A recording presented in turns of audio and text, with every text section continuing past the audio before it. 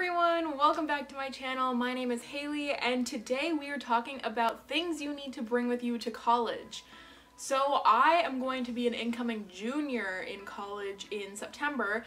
So I've been around the block a couple times of what you should bring with you to your dorm. So yeah, let's just get started. So I made another video similar to this last summer, so if you want to go check it out, I'll have it linked in the description or up above here if you want to watch that video. But today I'm just going to be telling you some more things I think are important for you to bring with you to college. So the first thing I think is super, super, super important is bringing a Brita water filter. Um, personally, uh, for me where I lived, I didn't have access to a water fountain nearby, like in my dorm area. So we used a Brita water filter, filled it up with sink water, filtered the water, and then we had clean drinking water to drink from so we could stay hydrated. Um, for us, the closest water fountain was probably the dining hall, which was kind of far away to be honest. So it was kind of out of the way, um, like in the morning before classes. So I definitely suggest a Brita water filter if you do not want to fill up at a water bottle station. Um, of course, this depends on like where you are, but it was very handy to have in our dorm so we didn't have to leave or go anywhere. It was just in our mini fridge. So yeah, I think a Brita water filter is super important. The next thing is kind of to each their own, but the next thing I would say is to bring a rug for your dorm. Um, a lot of dorms can be cold and feel dark, so I suggest bringing a rug to brighten the like room and make it more fuzzy. My room had gross floors. We cleaned them I don't know how many times. The floor was just disgusting. So I got a rug and put it by my bed so it kind of covered most of the floor. My rug did get kind of dirty but over the summer I vacuumed it and washed it and got it as clean as I could so I'm still using it now. It's in my apartment so I definitely think a rug is important if you don't want your dorm to feel so dark or cold. Also, I didn't want my feet on the bare dorm floor. So yeah, I, I didn't want to touch that. So I think a rug, for me at least, was super important. Um, yeah. The next thing I would recommend is a desk lamp. So for me last year with my desk, there was already a light underneath my desk, like it was installed in the desk. So I didn't need a desk lamp.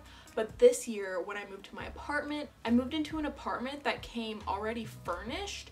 So um, it came with the bed and the desk and the dresser but it didn't come with a light so I got a desk lamp for my desk and it has done me wonders it is so bright and I love it. I personally got mine from Ikea.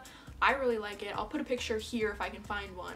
But I really liked it. It was really inexpensive and it did the job. But of course for my freshman year, a lamp already came installed with the desk, so it kind of depends on where you're going to college and like your situation. Maybe check your school like online what your dorm comes with, if not wait till you get to school and then buy one after you get there to see if you already have a lamp installed or not.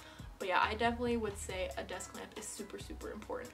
The next thing is kind of a given, at least for me it was. I had printed out a bunch of pictures of family and friends to hang in my dorm to make me not feel so far away from them. I had pictures all over my side of the room. Yeah, it made me feel not so alone that my parents and friends weren't so far away and I had some of my favorite pictures of my family and it just made me feel so happy to have them on my wall and represent them. So for me, it was kind of a given that I wanted to have pictures in my room.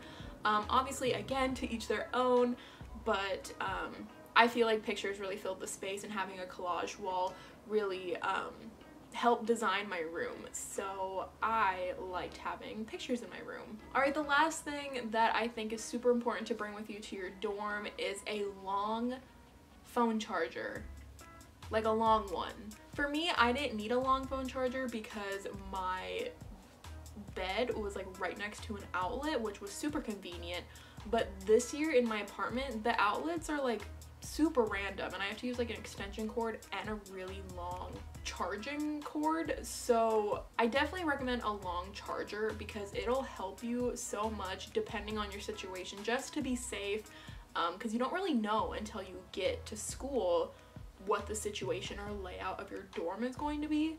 So I definitely recommend a long charger because you're gonna need it. And especially if you like have bunk beds, like I know my cousin, she made her bed like up to a loft so she needed the long charging cord to go all the way up. So I definitely recommend a long charger. So those are all the things I'm going to be sharing with you today of what you need to bring with you to college. Like I said before, I filmed a video like this last year, so I'll have the link in the description if you want to check it out.